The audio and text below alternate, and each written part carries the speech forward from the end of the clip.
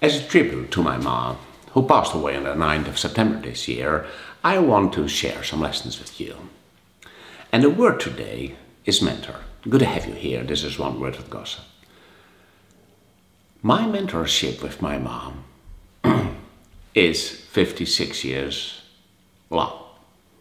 I'm 56 and for that lifespan my mom mentored me with unconditional love. Think about it. Who are the ones who can mentor you a lifelong? I know people who are breaking up with their parents. I know people who don't want to talk anymore with their parents or vice versa.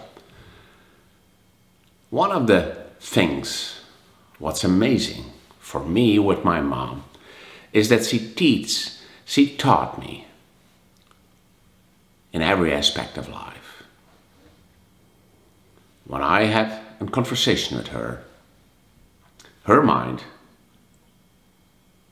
was spinning and she wanted the best for me. She wanted really the best for me because she loved me unconditionally.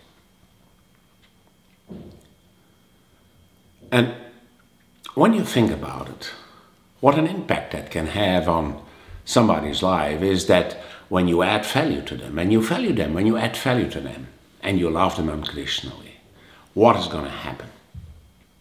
What's going to happen with the person you mentor and what's going to happen with you? I think that my mother had the right sense of mentorship. She steered me when I was young. She corrected me, always with love. How's that with you? What kind of mentorship do you have with your parents? What kind of me mentorship do you have with other people? My name is Gosse. Have a great day.